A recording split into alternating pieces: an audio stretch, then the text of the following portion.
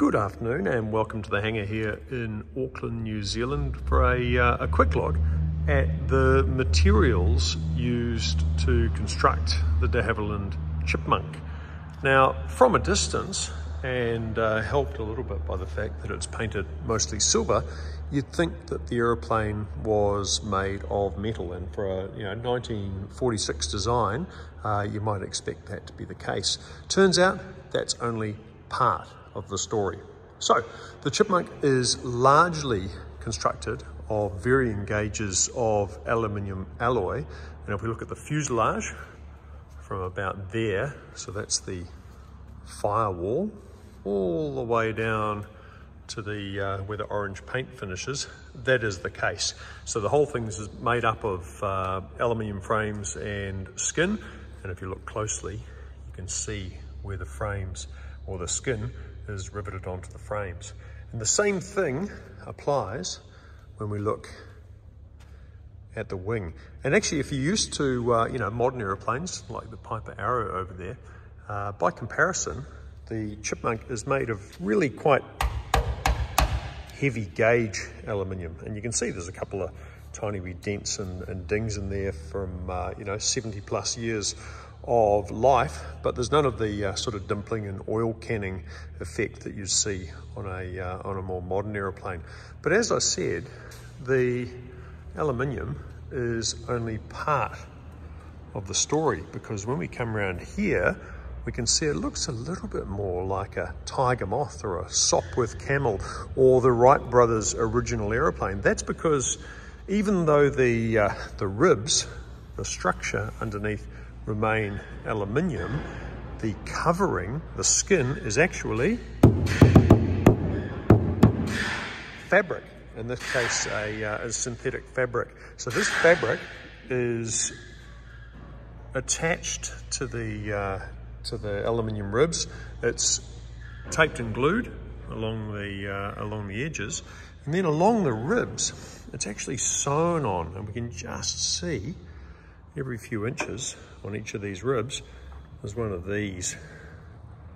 And what that is, is a stitch. So if you can just imagine this whole um, thing being naked, it's just being a series of ribs, we put the, uh, we put the fabric on, we stitch it with a great big needle through one side, all the way through the wing and down to the other where you can see the rib and the stitches passing all the way through. Same thing on the uh, all the flying surfaces. So the aileron, the flap, and back here, the rudder, and the elevators, all covered in fabric. Once, uh, once we've got those pieces of fabric on and we've stitched them to the ribs, uh, we cover those stitched areas with, uh, with tape and you can just see it's got a, and this is fabric as well, got a bit of a zigzag edge to stop it fraying. Um, and that's done with what are called pinking shears, which is a special kind of scissors that uh, your mother or father might have had back in the day to stop um, the edges of, of um, dress material from fraying. So that's the aluminium and that's the fabric. There's a couple of other materials that make it into the chipmunk. Of course, there's the uh, there's the perspex in the uh, in the canopy. None of it's glass. It's all uh, it's all plastic, which does make it a little bit prone to scratching. We've got to take very very good care of that. And then right up the front, there's another couple of materials. Um, one of the things I like in this aeroplane is it features a little bit of brass. So if we look down there at the pitot head, uh, I'm told this is the same pitot head found on a uh, Spitfire or a Hurricane, but I don't have any uh, evidence to support that. Let's just say it sounds, uh, it sounds truthy. So we've got some brass to polish there. Got a little bit more brass here on the fuel cap. And then we've got to come to the steel. So steel is used pretty sparingly in the engine, uh, in the aeroplane. Apart from the engine, of course, which is uh, almost all steel.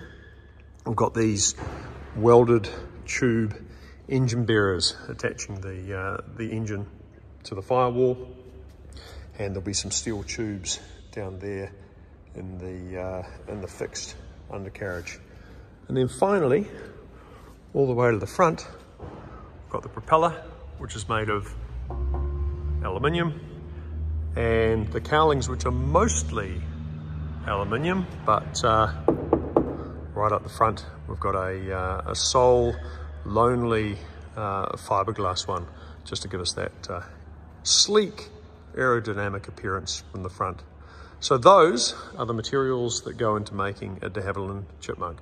Mainly aluminium or aluminium alloy, quite a lot of fabric, a little bit of steel, and a little bit of brass. Thanks for watching.